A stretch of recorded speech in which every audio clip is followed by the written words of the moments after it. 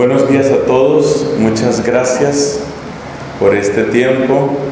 Hermana Luzmila, hermana Antonina, comunidad de Dominicas de la Inmaculada Concepción y cuerpo de docentes. Lo primero es saber si estamos bien en el volumen del sonido, ¿se oye bien ahí? Lo segundo, pues demos un saludo a la dueña de casa, en el nombre del Padre y del Hijo y del Espíritu Santo. Amén. Dios te salve María, llena eres de gracia, el Señor es contigo. Bendita tú eres entre todas las mujeres y bendito es el fruto de tu vientre Jesús.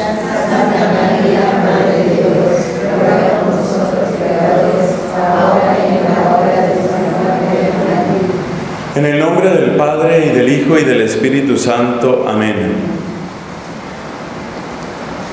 Bueno, comenzando el año escolar, es el tiempo mejor para entrar en sintonía. Sintonía con esa vocación tan necesaria, siempre necesaria en la sociedad, la vocación del educador. En esta oportunidad quisiera ofrecer alguna reflexión sobre los enlaces que unen la fe, los valores y la sociedad. Y empiezo planteando una pregunta. Aquellas personas que encontramos como responsables de grandes daños en nuestra sociedad, ¿en dónde se educaron?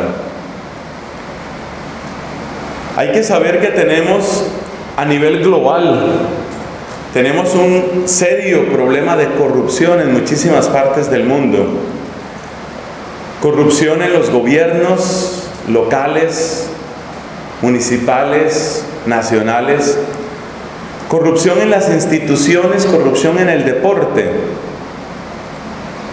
Nada más el día de ayer, una noticia, la Agencia Europea de Policía que se llama Europol ha destapado una red, una mafia de acuerdos en el fútbol profesional europeo. Se calcula, son las cifras hasta este momento, que cerca de 100 partidos profesionales sucedidos durante los últimos años, y eso incluye varios partidos que determinaron quién participaba en la Copa del Mundo, 100 partidos fueron arreglados. Es decir, no era fútbol real. Estaba determinado el marcador y lo que vieron los espectadores, pagando además boletas carísimas, lo que salió por la televisión, era todo una pantomima, era una farsa. El partido ya estaba acordado. Este partido debe acabar 2 y 2 o este partido debe acabar 1 a 0 o como sea. Partidos arreglados. Quiero llamar la atención sobre este hecho porque Estamos hablando de Europa. Ciertamente las personas involucradas en esa mafia del fútbol no eran personas que se estuvieran muriendo de hambre, no eran personas que necesitaran ese dinero para sobrevivir, no eran tampoco personas que carecieran de conocimientos, ni se puede aducir que por ignorancia resultaron metidos en esos negocios. ¿Qué mueve a un europeo culto a meterse en una mafia de ese género? Eso está indicando una situación que solo puede calificarse de corrupción. Pero, pero son muchos los elementos de corrupción que encontramos y lamentablemente esos muchos síntomas no conocen fronteras. O sea, la primera idea que quiero que quede clara es que debemos olvidarnos de que el crimen está ligado únicamente o principalmente a la pobreza. No es cierto. El problema no es de pobreza y queda demostrado en casos como este.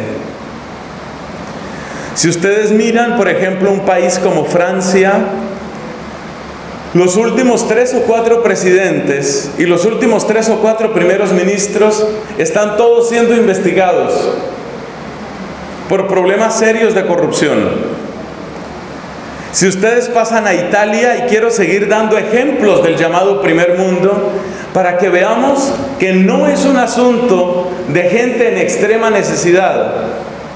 Porque cuando uno mira, como ahora están presentando aquí en Perú, cuando uno mira una película, una serie como esta de Pablo Escobar, pues uno ve cómo la pobreza y la necesidad tuvieron mucho que ver en los orígenes de la carrera de este mafioso. Pero ¿qué hay detrás, por ejemplo, de un Silvio Berlusconi, primer ministro de Italia, acusado de todo tipo de corrupción, evasión de impuestos, prevaricato y por supuesto una vida personal tormentosa, incluyendo esas famosas fiestas que más parecen orgías, en las que hay testimonio de personas contratadas específicamente para ese efecto.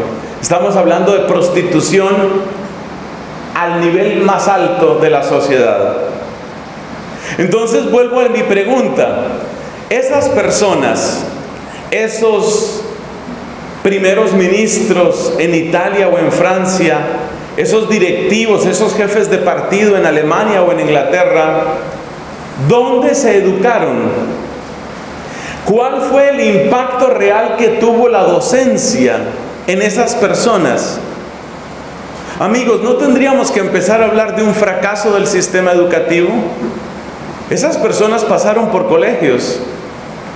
Ninguno de los profesores, ninguno de los directivos de esas personas tuvo suficiente impacto en esa vida como para evitar eso. No hubo nadie que llegara a ese corazón y que dejara sembrados los valores necesarios para responder a los dineros públicos. Les tengo una cifra escandalosa de Italia. El dinero que se pierde, se pierde entre comillas, porque no se pierde, sino que queda en bolsillo de particulares, el dinero que se pierde anualmente en un país como Italia está en el orden de 60 mil, 60 mil qué? Millones de euros. 60 mil millones de euros. Traduzca eso a soles, traduzca eso a pesos colombianos, traduzca eso a la moneda que usted quiera. Ese es el volumen de dinero que se pierde anualmente. Por eso a mí me causa mucha gracia cuando la gente dice que el Vaticano lo vendan y que solucionen el problema del África. Bonita disculpa. ¿Y qué hacemos con los 60 mil millones de euros que se están perdiendo? ¿Que sigan quedando en bolsillos de particulares? Con el dinero que la corrupción administrativa y la corrupción gubernamental se lleva en un país como Italia en un año, ¿cuántas hambrunas se pueden solucionar? En nuestros países continuamente se destapan situaciones semejantes. Desde que llegué al Perú hace una semana, no ha pasado un día sin que se mencione la alcaldesa de esta ciudad. Y está pendiente el tema de si, si hay o no hay revocatoria. Por supuesto no soy nadie para pronunciarme a ese respecto. Pero las acusaciones que se oyen, incluso para un visitante como soy yo, las acusaciones que se oyen al respecto son serias. Y yo hago la pregunta, ¿quién educó a esa señora? ¿Quién la educó? ¿En qué colegio estudió? Y aquí entra una parte importante que tiene que ver con nosotros como iglesia. Muchas de las personas que están en ese tipo de negociados y en esos niveles de corrupción pasaron por colegios católicos. Muchas de esas personas estuvieron en su aula de clase donde usted está enseñando. Entonces tenemos que declararnos fracasados hasta cierto punto, o por lo menos esto tiene que despertarnos.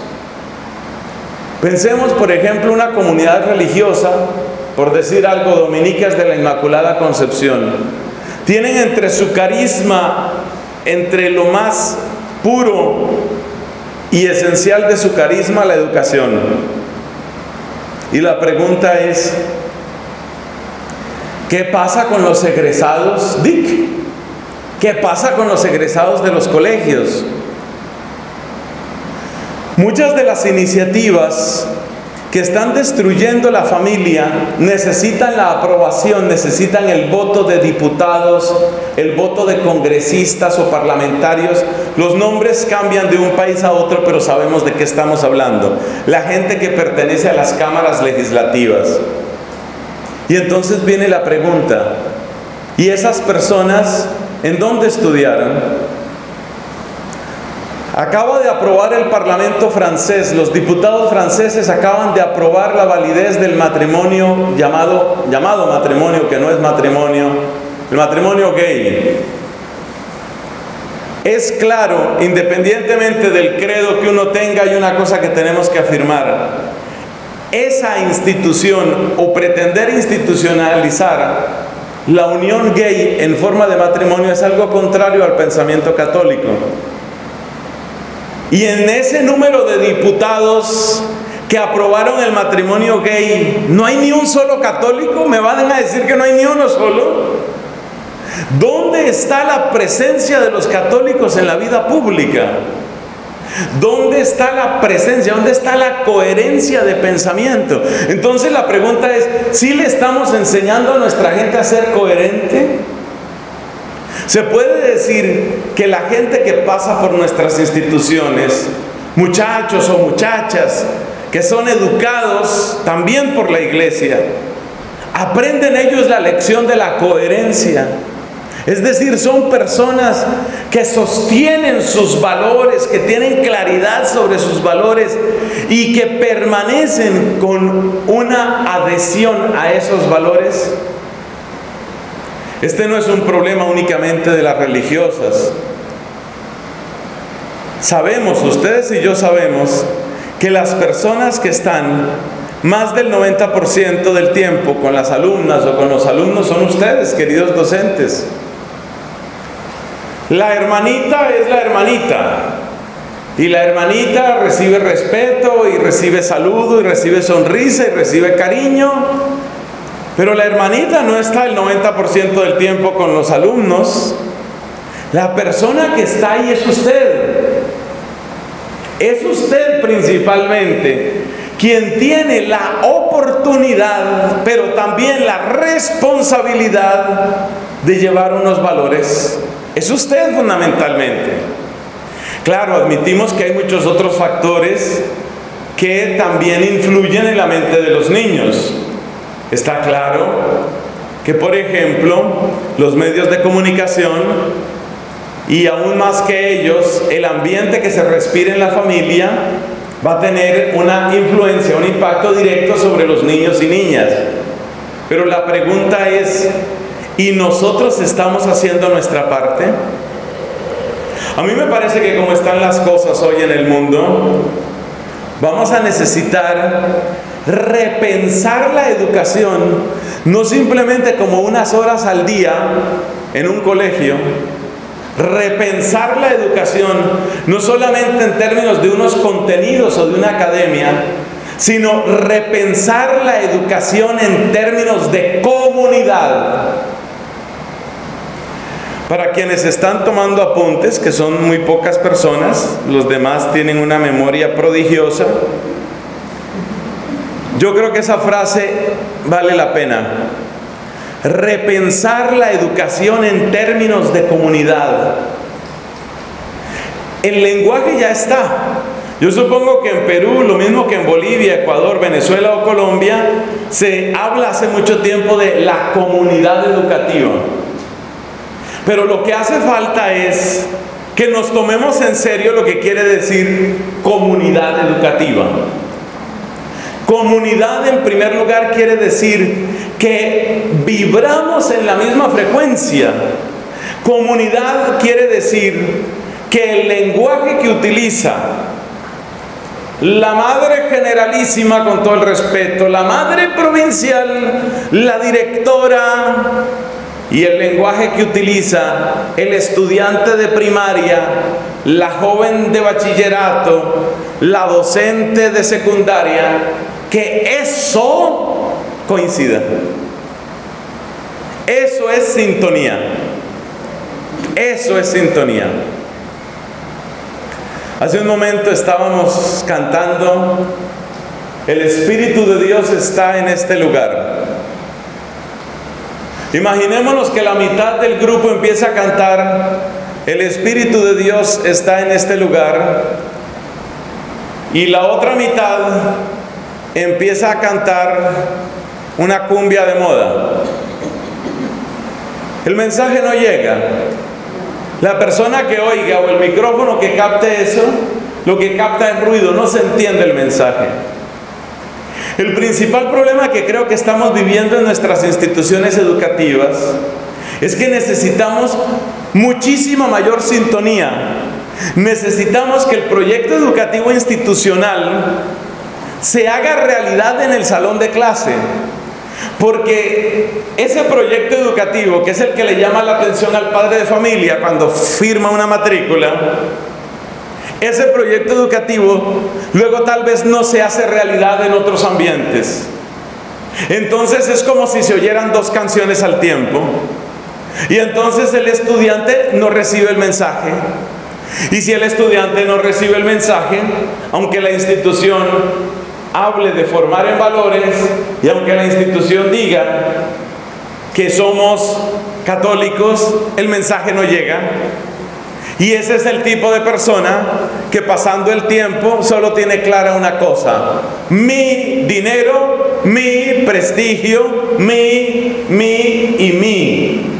Y ese egoísmo y esa codicia es la que despedaza el tejido social. El que solo piensa en lo suyo, el que solo busca su ganancia, el que solo busca su provecho, decimos en mi país, el que solo piensa en su tajada, a mí qué me toca de esto. Y es desastroso que la gente esté llegando a gobernar con esas ideas y llegan así. Reciben el cargo y lo reciben ya pensando, ¿yo qué voy a sacar? En estos dos años o tres años, en estos cuatro años de mi periodo de gobierno, ¿yo qué voy a sacar?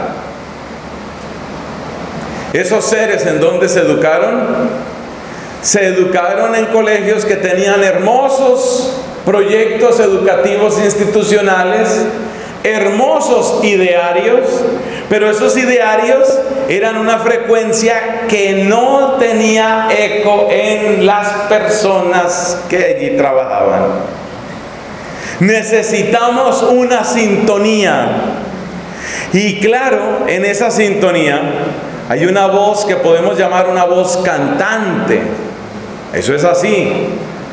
Hay una voz cantante, hay, alguien que lidera la melodía.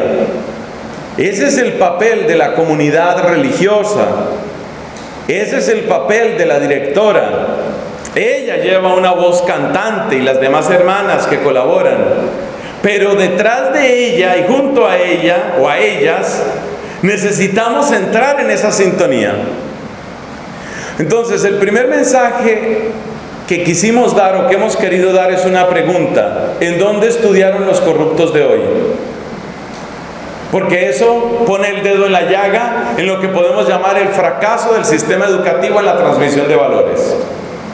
Segundo punto, el segundo punto es el educador, el docente, o sea, tú querida hermana, tú querido hermano, docente, profesor, profesora, tú tienes la oportunidad y la responsabilidad de influir, de impactar de manera única a esos niños y niñas.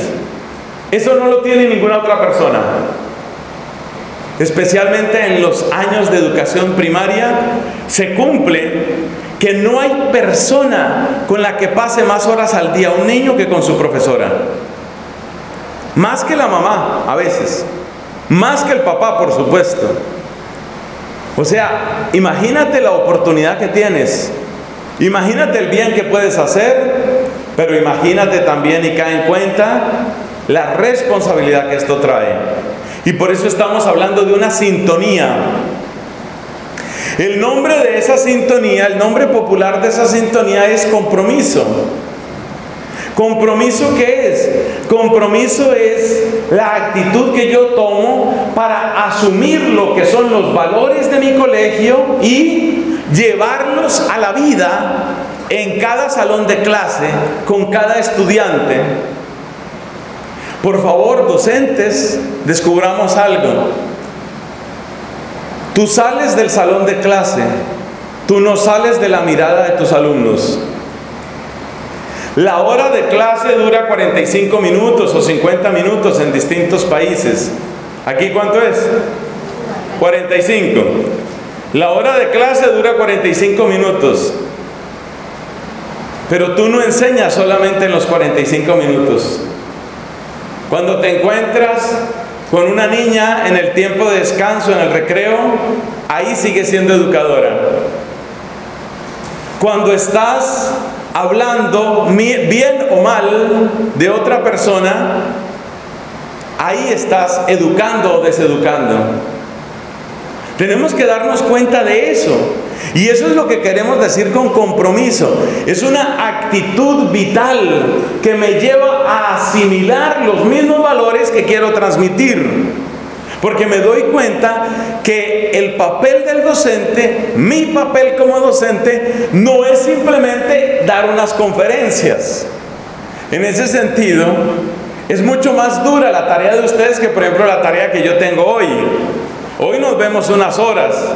Aquí comentamos un rato, tenemos un descanso. Entiendo que vamos a tener, bendito sea Dios, la celebración de la Eucaristía, unas horas y luego el frailecito dominico desaparece y se acabó.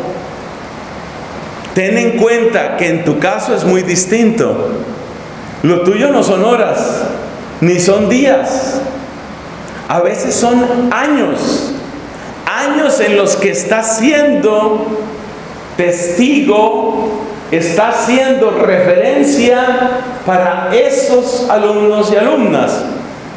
Entonces hay que tener mucho cuidado con eso. Hay que tener mucho cuidado porque se cumple aquí, lo hablábamos hace poquito con mi hermana Antonina, se cumple aquí lo que dijo el Evangelio. No hay nada oculto que no llegue a saberse. Y los niños y los adolescentes son cada vez más perspicaces. Cada vez ellos se sienten en mayor capacidad y tienen mayor destreza para detectar quién está recitando un papel y quién se lo cree. Entonces, ese es un punto clave, la sintonía. Y la sintonía se convierte en una actitud de compromiso una actitud que te involucra, tú te involucras, tú te pones la camiseta, tú asumes lo que estás enseñando. Bueno, pasemos a la tercera parte. A ver, la primera parte era la denuncia del problema, la segunda parte era descubrir la necesidad de la sintonía. Eso fue lo segundo, necesidad de sintonía. Pasemos a la tercera parte. La tercera parte es el, engañe, el enganche entre fe y valores. ¿Cómo se conectan? ¿Cómo vamos a conectar el tema de la fe, fe en Dios, fe en Jesucristo, fe en los sacramentos, fe en la iglesia? ¿Cómo vamos a conectar esa fe con los valores? Hasta cierto punto, este es el, el elemento central, este es el mensaje central que quisiera transmitir hoy. La fe y los valores, ¿cómo se conectan? Yo le he aprendido a una santa dominica que se llama Catalina de Siena, le he aprendido que hay una relación entre el aprendizaje y los contrastes. Es decir, lo que se aprende a base de contrastes se aprende mejor. Por ejemplo, se aprende mejor el daño que hace el orgullo cuando uno ve las puertas que abre la humildad. Se aprende mejor cuál es el daño que causa el resentimiento cuando uno descubre los bienes que trae el perdón. Se aprende mejor cuál es la belleza de la pureza o de la castidad cuando se descubre cuál es el daño que le causa al corazón una vida impura o el aprovecharse del afecto de otra persona. Eso se llama aprender por contrastes. Entonces vamos a utilizar la metodología de aprender por contrastes en esto de la fe y los valores. Y el contraste en esta oportunidad es el siguiente. ¿Qué es lo contrario de esa unión entre fe y valores? Pues es lo que hemos tratado de escribir ahí en la pizarra, que ustedes ven con mayor facilidad que yo, por supuesto. Aparecen tres interrogantes que son como tres críticas al papel de la fe en la educación. La primera crítica proviene del cientificismo. Por favor, queridos docentes, no confundir la ciencia con el cientificismo. La ciencia es una actividad noble, útil, que es orgullo de la raza humana. La ciencia implica el conocimiento sistemático conocimiento progresivo, conocimiento en profundidad de la realidad en que vivimos y que somos. La ciencia es una actividad indudablemente necesaria, pero además noble. Con noble queremos decir que embellece y que pone en funcionamiento las esferas más altas del ser humano su perseverancia, por ejemplo, su desinterés y sobre todo la inteligencia. Eso es la ciencia. El cientificismo qué es? El cientificismo es la ideología interesada e infundada que pretende que el único criterio de verdad lo da la ciencia. La ciencia es algo grande, pero creer que el lenguaje de la ciencia es el único válido, eso no lo da la ciencia. Distíngase muy bien entre lo que es la ciencia y el cientificismo. Qué bueno que nuestra gente, nuestros estudiantes, se formen en el método científico, eso está muy bien, pero una cosa es el método científico y otra cosa es el cientificismo. El cientificismo descarta la legitimidad del lenguaje filosófico, por ejemplo. Para el cientificista, no dije científico, porque hay muchos científicos que han sido y que son creyentes.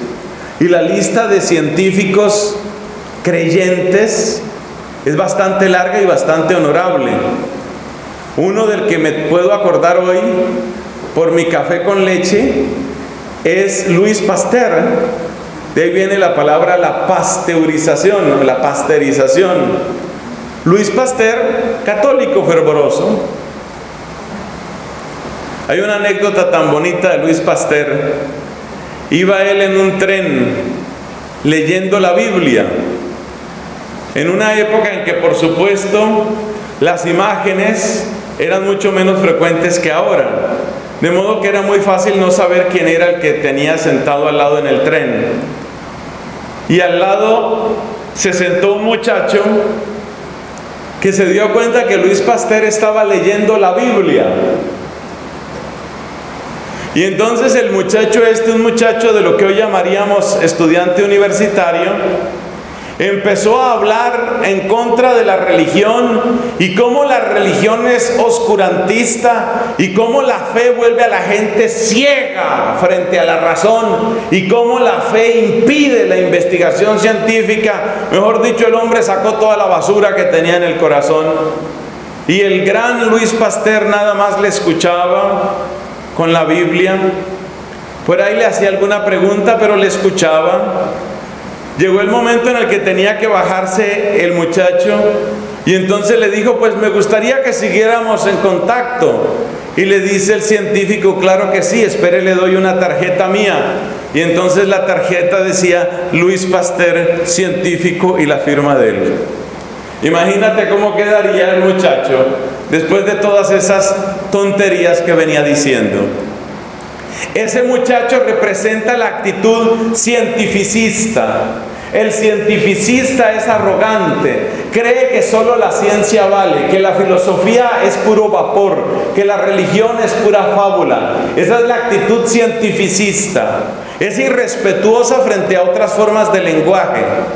En el siglo XX, por ejemplo, hubo esa erupción de cientificismo que se llamó el Círculo de Viena. El Círculo de Viena.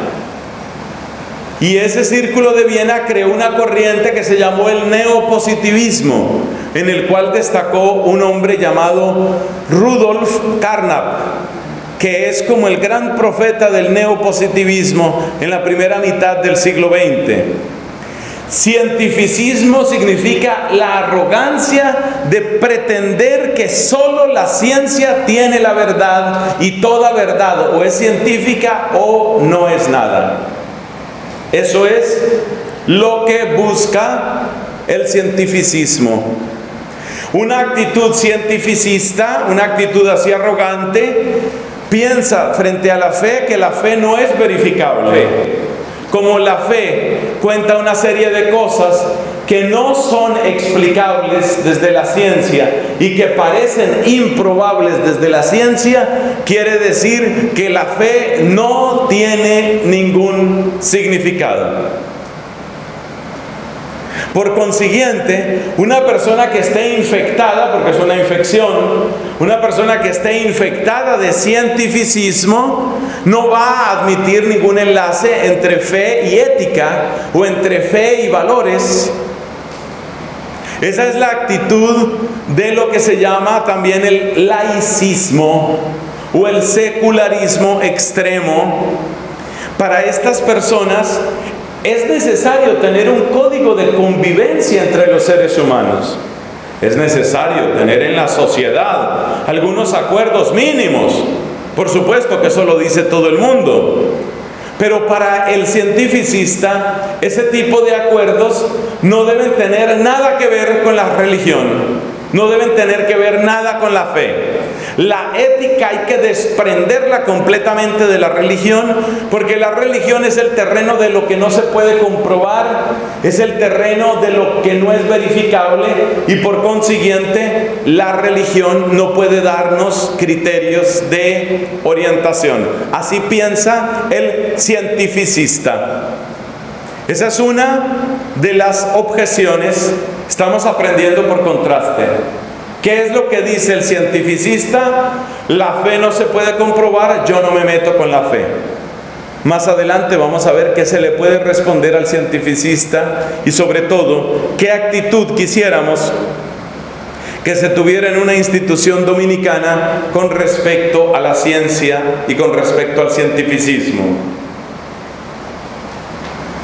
Hay una segunda objeción esta objeción todavía es pequeña en lugares como los nuestros, en países como los nuestros. Me refiero en este caso a Latinoamérica. Pero cada vez es un problema que va a aparecer más. Ya en los colegios públicos en Colombia sucede. No conozco lo suficiente la realidad peruana. Es lo que he puesto ahí en segundo lugar. La fe es algo demasiado particular. La fe católica rige para los católicos. No todo el mundo es católico, entonces no nos pongamos a predicar o a insistir en una fe porque esa fe no la tiene todo el mundo.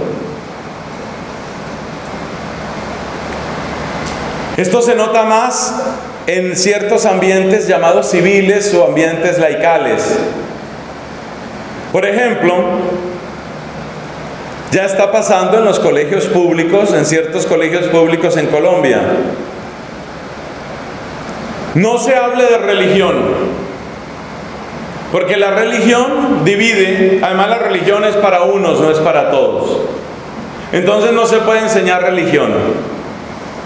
Es decir, la religión es como el pasatiempo, así se mira, como el pasatiempo que tienen algunas personas.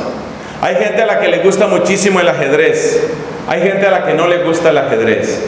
Pues dejemos el ajedrez para los ajedrecistas, dejemos el fútbol para los futbolistas y dejemos el catolicismo para los católicos. Pero la sociedad no necesita fe. La sociedad lo que necesita es reglas de conducta que sirvan para todos sin importar su credo. Por consiguiente, no hay conexión entre la fe y los valores. A ver, organicemos la cabeza. La primera objeción era la objeción cientificista. La fe no se puede verificar, luego la sacamos del currículum, la sacamos del corazón de nuestro mensaje educativo. La segunda objeción es, la fe es demasiado particular. Esa es la objeción laicista. Laicista. Laicista, ¿qué quiere decir? Se suele llamar laicismo a aquella forma de pensamiento según la cual la religión no tiene lugar en la esfera pública, porque la religión es un asunto completamente privado. Si tú en tu corazón adoras a Jesús en la Eucaristía, o si tú en, en tu corazón adoras al duende verde o al espagueti volador, problema tuyo. Lo que tú quieras creer, tu credo, tu pensamiento, queda únicamente para ti, pero eso no tiene carta de ciudadanía, eso no puede tener existencia social. Esta actitud se llama laicismo. Entonces la primera objeción era la del cientificismo. El cientificista dice, la única verdad es la verdad científica, es la verdad de lo verificable. La fe no es verificable porque no la puedo llevar al laboratorio. Por consiguiente, ¿por consiguiente qué? Por consiguiente hay que descartar la fe cuando se trata de enseñar valores. La segunda objeción, la objeción laicista. La fe no puede existir en público porque la fe no rige para todos. La fe es únicamente para los que crean en el duende verde, para los que crean en la pata de conejo, para los que crean en la hostia consagrada. Tú dices que crees en ese Jesús, ese es problema tuyo, yo no me meto con eso. Y la última objeción que tenemos es que la fe parece muy invasiva. ¿Qué queremos decir con que la fe es invasiva? Que la fe es invasiva quiere decir que el mensaje cristiano se mete con todas las áreas de la vida humana y llega el momento en el que eso parece entrar en colisión con la autonomía del ser humano, viene a entrar en colisión con la sensación de que en mi vida privada mando yo. Yo manejo mi vida como a mí me parezca. Si yo en mi vida privada hago o deshago, eso no le debe importar a nadie más. Por ejemplo, soy un médico, hago mi trabajo como médico, pero por las noches soy un aficionado a la brujería y al satanismo. Me dedico durante horas enteras a invocar los poderes de Satanás. Nadie tiene que meterse con eso. Esa es mi opción, eso es lo que yo quiero hacer. Usualmente esta objeción, esta objeción, que ya le vamos a dar un nombre, aparece no en relación con la religión o con el credo, con las convicciones, sino sobre todo en relación con la sexualidad. Porque resulta que nuestro cuerpo es algo que sentimos intensamente nuestro. Lo sentimos como algo íntimo, como algo privado. Entonces, muchas veces, incluso de manera grosera, se hace esa, se le plantea esa objeción a la iglesia. Dejen de meterse en la vida privada de la gente. Y esto concretamente se aduce con asuntos de afectividad o con asuntos de sexualidad. Si yo hago bien mi trabajo, ¿a usted qué le importa que yo sea lesbiana? Hice bien mi trabajo, punto, no se meta en lo que no le importa. Si yo hago bien mi trabajo, ¿a usted qué le importa que yo aborte? Si yo hago bien mi trabajo, ¿a usted qué le importa que yo me esté casando por cuarta vez? ¿Qué le importa a usted? Es decir, en mi cuerpo, en mi sexualidad mando yo. Los que quieren a toda costa la legalización del aborto en todas sus formas utilizan mucho este argumento y así se lo enseñan a decir a la mujer. Entonces, por ejemplo, en una de las marchas por la vida que se hacen en muchos países, gracias a Dios, también aquí en Perú hay una marcha por la vida, entiendo, en marzo. En las marchas por la vida, en una marcha por la vida que se hizo en Estados Unidos, le salieron unos que protestaban en contra de esa marcha. Uno de los letreros decía, quita tu rosario de mi útero. Observe ese lenguaje. No meta la religión con mi sexualidad. Yo veré qué hago con mi útero. Así, con ese lenguaje, con esa agresividad, con esa rudeza. Es decir, la religión suya es su religión. En mi vida privada yo veré qué hago. Yo veré si me vuelvo transexual, yo veré si aborto, si no aborto. Esa es mi vida. La iglesia no tiene que meterse en esas cosas. El ámbito de lo ético, según quienes así piensan, el ámbito de lo ético es simple y sencillamente el ámbito de lo público. Lo que la gente haga en privado no le debe interesar a nadie. Eso es una autonomía, una autonomía exacerbada. Es el culto del individuo y lo podemos llamar, por tener una palabra fácil, individualismo. Entonces hay tres enemigos que suelen estar escondidos, pero que aquí los estamos desenmascarando. Hay tres enemigos que suelen oponerse a que la fe haga presencia dentro del mundo de los valores. Esos tres enemigos son el cientificismo, que dice la fe no es verificable, el laicismo, que dice la fe vale solo para un grupo particular, y el individualismo, que dice respeten, respeten al individuo, no se metan en la vida privada de la gente, y muy concretamente, no se metan con el cuerpo y con el sexo de la gente, dejen el sexo tranquilo. Hay gente que habla así. ¿Por qué la iglesia anda a toda costa metiéndose que el sexo, el sexo? Dejen el sexo tranquilo. Cientificismo, laicismo, individualismo. Hay que aprendérselos. Hay que aprendérselos porque los estudiantes que vienen a nuestros colegios vienen ya con ese chip. Ya ellos vienen con esa idea. Ellos vienen con la idea de que lo científico es lo único cierto. Ellos vienen con la idea de que la religión es más o menos una opción como gustarle a uno un equipo de fútbol. A mí me gusta tal equipo, me gusta tal otro equipo, a ti te gusta el otro, pero no vamos a pelear por, eso. Y el individualismo que es, a mí déjenme hacer. Déjenme hacer en mis convicciones políticas, en mis convicciones religiosas. Déjenme hacer en mi sexualidad. Déjenme hacer en el final de mi vida. Ayer leí una noticia que me pareció escalofriante. Es un médico que escribe un artículo muy doloroso. Se encuentra en una página web que se llama mercator.net. Muy interesante, la descubrí hace poco mercator.net. Está todo en inglés, muchos de ustedes supongo leen sin dificultad ese idioma. Ahí pueden encontrar usted el artículo que le voy a mencionar. Es un artículo sobre un médico, en todo caso un científico, un estudioso que cuenta la muerte de la mamá. Resulta que la mamá sufría de ciertos episodios de depresión. La mamá era belga. En Bélgica está aprobada hace mucho tiempo la eutanasia. Entonces la mamá en una de sus crisis de depresión llegó a la conclusión de que no quería vivir más y entonces fue donde el médico y le dijo, la vida se me ha vuelto insoportable y el médico le dijo, no hay ningún problema, pague lo que tiene que pagar y yo la mato, porque eso es la eutanasia. Y entonces la señora esta pagó lo que tenía que pagar y la mataron.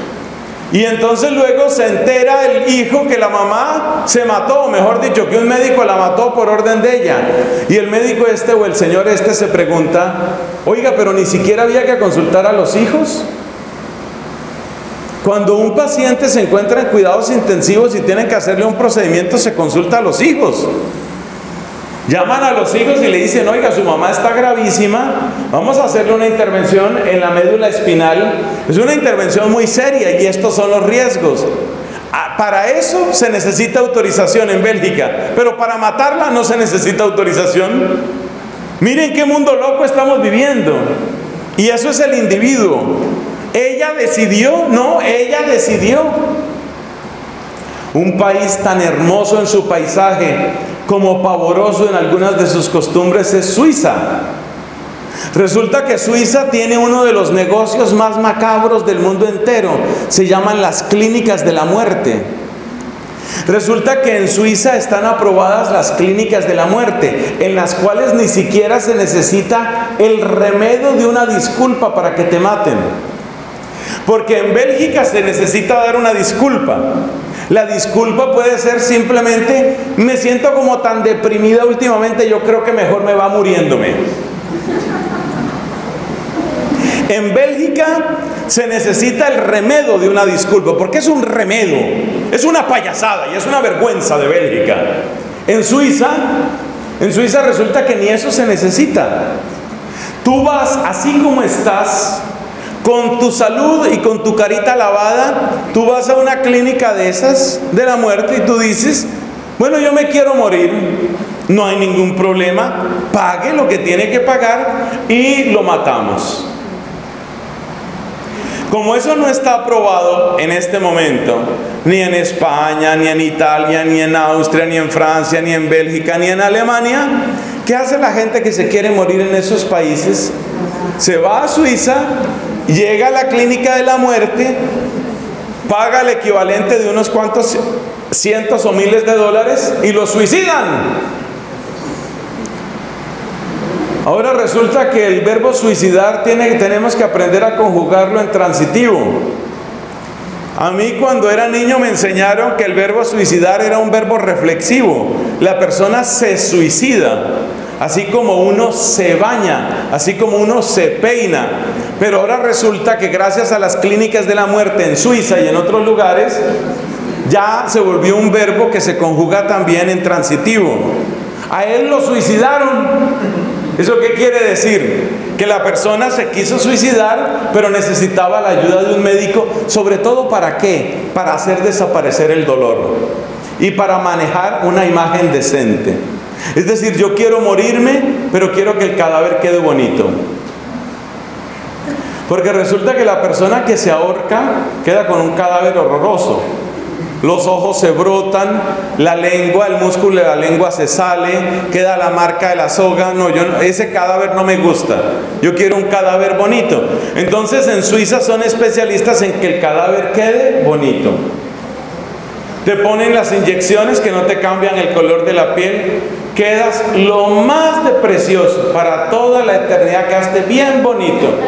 Que si tu eternidad será en el infierno, eso no le preocupa a los suizos pero ya tienes donde suicidarte.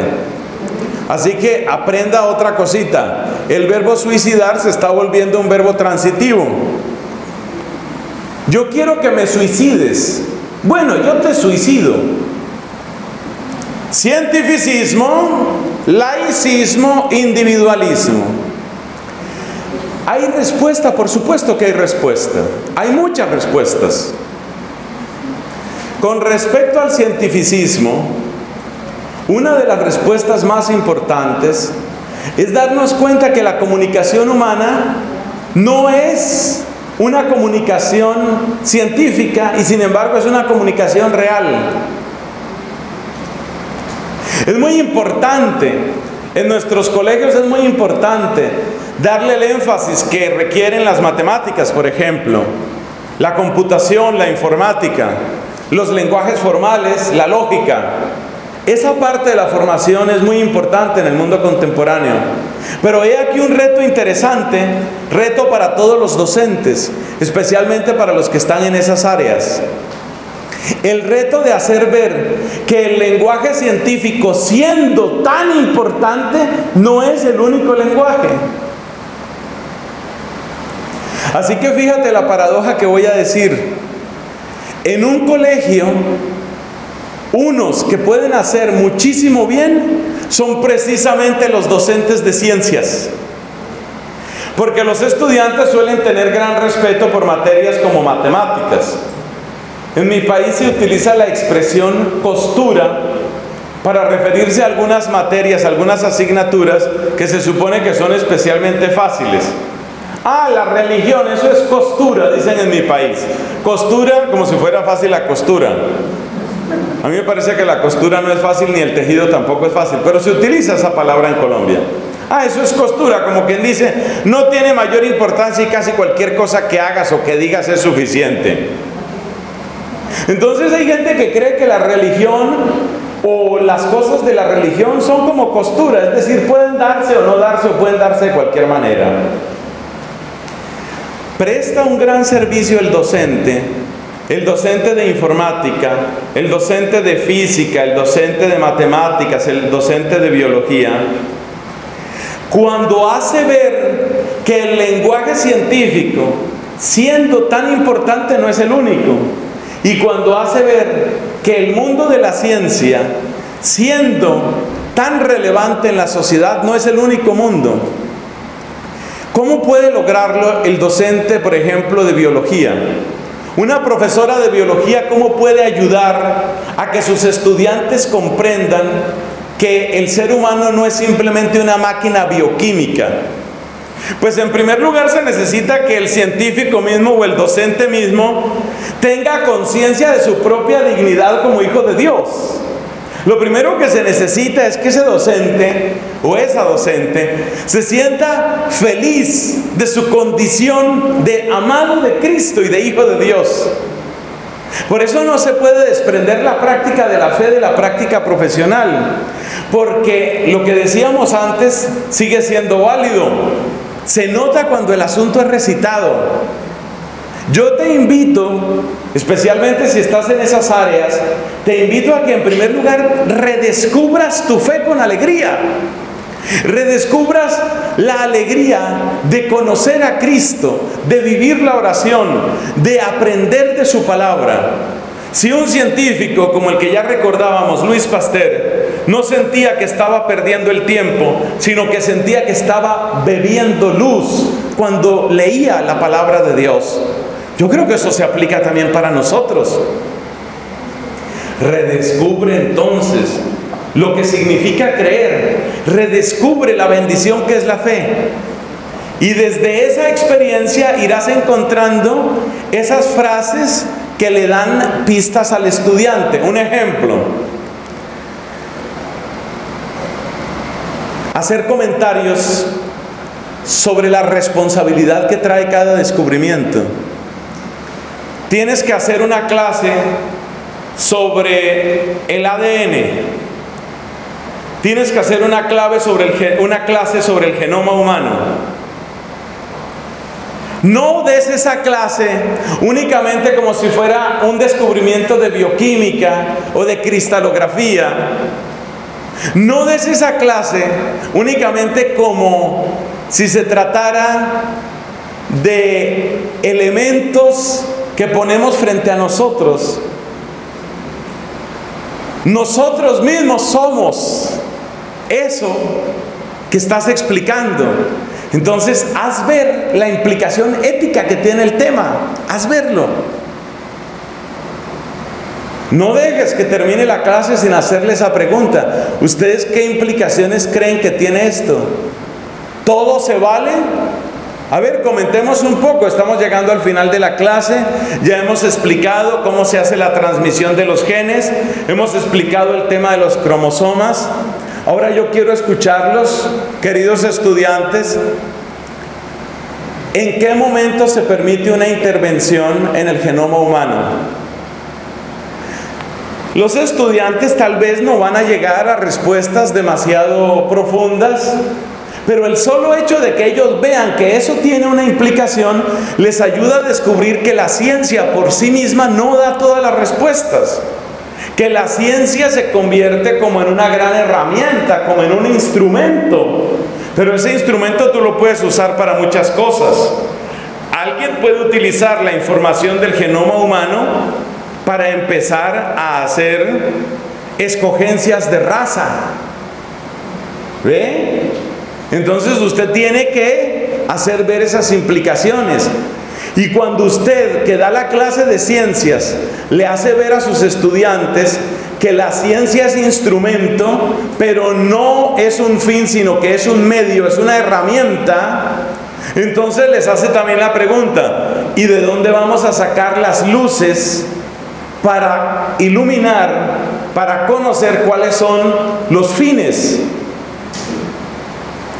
Yo tengo información sobre los genes, tengo información genética, pero a ver, un momento, no es solo genes, el tema es, oye, ¿y, ¿y qué voy a hacer con eso?